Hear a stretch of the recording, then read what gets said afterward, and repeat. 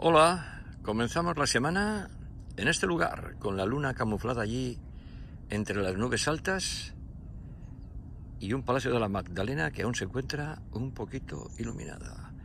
Mañana de muy agradable temperatura de momento, sopla una ligera brisa y los cielos por esta zona más bien cubiertos. Ahí tenemos escondida, a ver si la vemos un poquito, la isla de Mogro, que está allí a la derecha de la farola.